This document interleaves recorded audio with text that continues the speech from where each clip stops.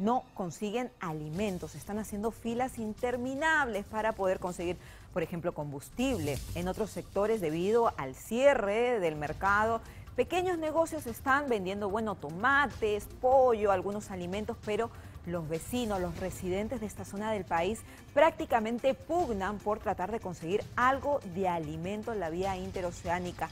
En el sector del puente Inambari, los manifestantes dieron tregua solo por una hora para que puedan pasar los vehículos de carga pesada. Sin embargo, en el sector de Laberinto, a 50 kilómetros de la ciudad de Puerto Maldonado, la vía continúa totalmente cerrada, lo que obligó a los transportistas a vender sus productos en plena carretera. No quedaba otra opción y es ahí donde llegan los ciudadanos, los residentes, para intentar conseguir algo. Está totalmente Puerto Maldonado apartado del resto del país, viviendo una situación dramática, desesperante, porque no consiguen alimentos, no hay combustible y los vecinos, los ciudadanos, las personas trabajadoras finalmente son quienes más sufren con esta convulsión social y política que vivimos.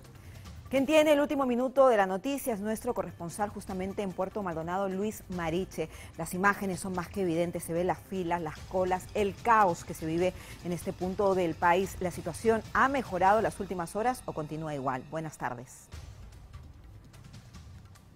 Muy buenas tardes, gracias por el pase. Efectivamente, aquí en Puerto Maldonado la situación se vuelve cada día más desesperante entre los ciudadanos, los pobladores, quienes esperan que de una vez se habilite la carretera interoceánica en el kilómetro 50 de la ruta Puerto Maldonado-Cusco.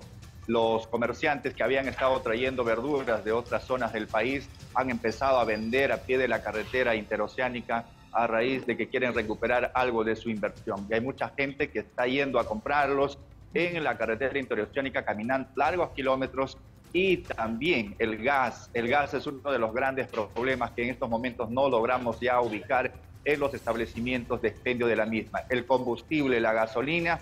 Ayer en horas de la noche, Petroperú tenía en sus hangares, tenían eh, un cisterna de una empresa que iba a ir a una localidad, pero gracias a las coordinaciones hechas con los funcionarios de Osinermin se les autorizó llevar al grifo aquí en la avenida 2 de Mayo y expenderlo 3.500 galones desde ayer de la tarde han estado haciendo cola a los ciudadanos para que les puedan vender hoy a partir de las 8 de la mañana. Ha habido un tumulto, colas intensas para poder abastecerse de un solo galón y creo que ya los 3.500 se van a agotar en cualquier momento y el problema va a persistir en esta parte de la Amazonía. Una situación desesperante y preocupante de la que se vive en esta, en esta zona, Madre de Dios, a raíz de que no se habilita la vía interoceánica desde el 4 de enero al día de hoy. Ya van más de 20 días y es preocupante, señoras y señores. no hay verduras,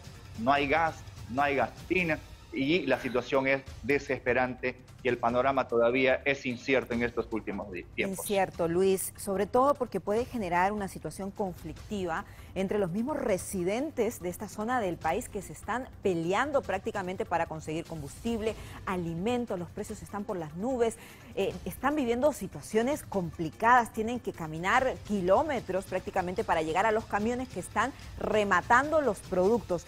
Y ahora yo quisiera consultarte el rol de las autoridades, de los alcaldes, del gobernador, ¿qué están haciendo para poder solucionar esto que no se puede prolongar más en el tiempo?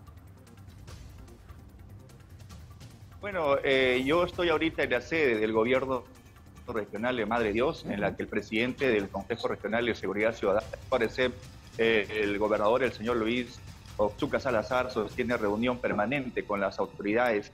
Han ido a querer dialogar a la zona del laberinto, pero sin embargo las autoridades no quieren saber, o los manifestantes no quieren saber absolutamente nada, no dan su brazo a torcer.